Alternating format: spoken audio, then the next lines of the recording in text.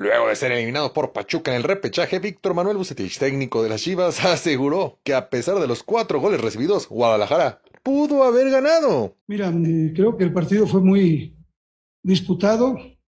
El factor de experiencia creo que cuenta en muchas ocasiones, por supuesto.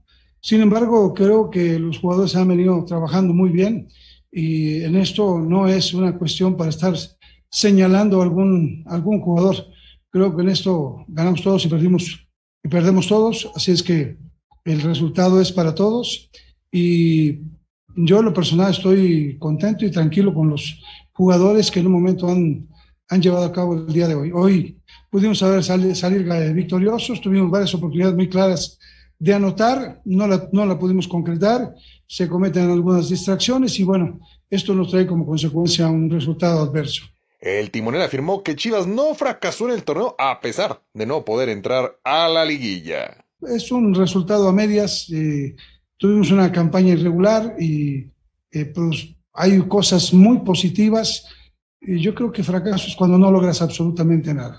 Nada en sentido, no nada más es cuestión de un resultado, sino es, es un resultado que, que también hay producción de jugadores que hay una cierta cantidad de puntos y, y bueno, es parte de, de esta eh, parte de, del torneo, ¿no?